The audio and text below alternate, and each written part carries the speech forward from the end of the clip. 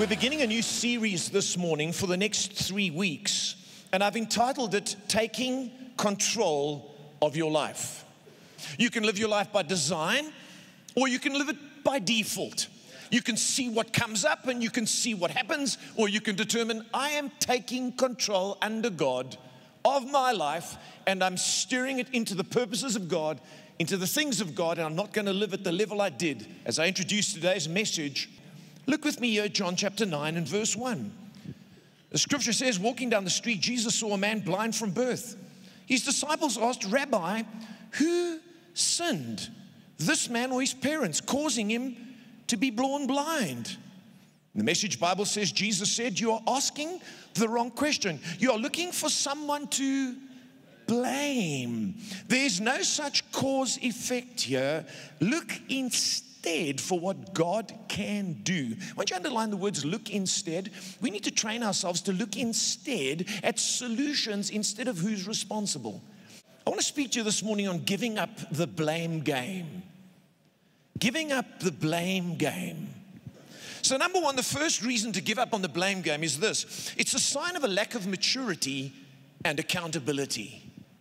It's not a mature thing to do to blame others.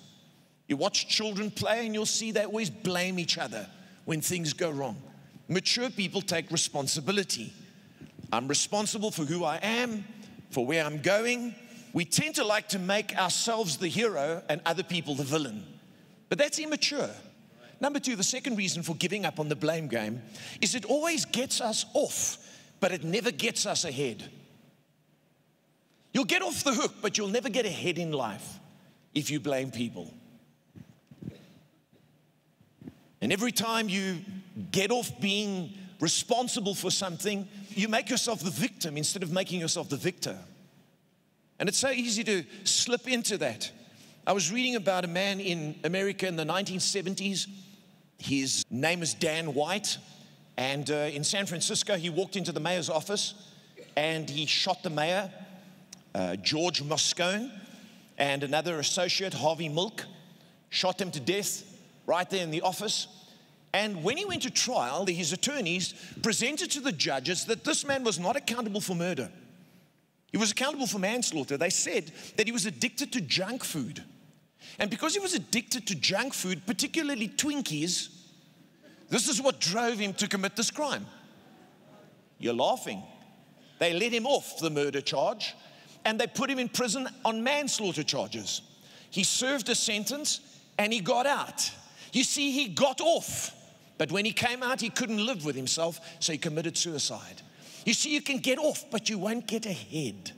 And when you blame people, you're finding an excuse, but you still have to face who you are ultimately. And who you are is something we've got to deal with. We've got to take control, bring ourselves to the Lord, and say, This is my life. This is where I need to change. This is where I need to grow. I'm not going to blame people anymore. Number three, the third reason we need to give up on the blame game. Are you being helped this morning? Is it gives false reasons and solves nothing. Blaming gives false reasons for our problems and it doesn't solve anything. Margaret Wheatley is a management consultant and is used extensively with corporations. She said this She said, as soon as we find someone to blame, we act as though we've solved the problem. Isn't that true? Who's responsible? Him. Okay. But we haven't got anywhere near solving the problem. We've only got close to apportioning the blame. In South Africa, if I have to be honest, we're very good at blaming one another. Pointing fingers at different groups of people all across the nation, political and non political, for why we're having problems, but we have very little solutions coming forth. We mustn't be part of that problem. We must be people who say, We recognize that. We're not going to be finger pointers, we're going to be solution finders. The fourth reason we need to give up on the blame game is it leads to an unhappy life. When you stop blaming people, you will become a happy person. Do you know what causes unhappiness? Is you feel a victim. You feel overpowered. Life's too big. These corporations, Wall Street, the stock exchange, big business, unions, the government, the weather. No, no, no. Nothing is too big for God.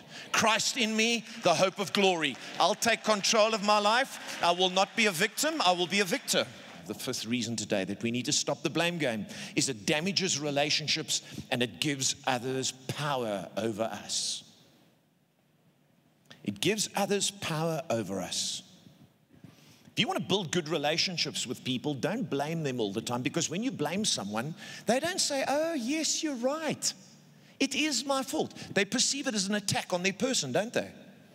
And so, if you want to build relationships with your, with your wife, your teachers, your boss, people you're trying to influence as a Christian, don't blame them. It doesn't build relationships, it alienates people because they perceive you as attacking them. You know what you do when you keep blaming people? They cover up. That's what Adam and Eve did. They covered up and hid and tried to apportion the blame. But God looked for them and He covered them. And so when you don't cover yourself, God covers you. When you stand up and own up, God will cover you. Number six, as we come to a close. Have you been helped today? The sixth reason why we need to stop playing the blame game is it destroys our leadership potential. Every Christian is meant to be a leader in society, not a follower. We're meant to influence others. And if you want to be a leader in your church, a leader in society, a leader in your company, a leader in business, you must be a person who doesn't blame others leaders say, hang on a minute, even though I'm far removed, maybe, I'm the top of the pyramid, I'm, I'm, I'm far removed from people on the ground who are supposed to be doing this job. If people steal money from a company and you're the CEO, guess what? You're responsible. And if you take responsibility, people respect you and they follow you even if you're wrong.